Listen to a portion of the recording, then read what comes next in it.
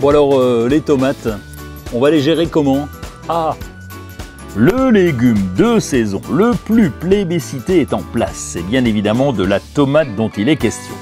Comment bien le gérer pour avoir de jolis fruits savoureux à souhait? On reprend les bases de ses besoins.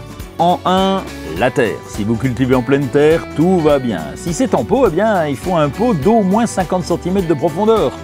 En 2, du soleil. La tomate est un légume du soleil. Il faut que la plante reçoive le soleil au minimum de l'après-midi. En 3, de l'eau. La tomate est composée à 95% d'eau.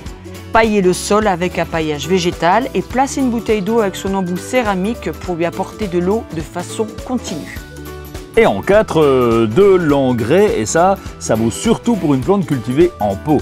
La tomate est gourmande et va épuiser le terreau très rapidement. Pour bien produire, il faut bien manger.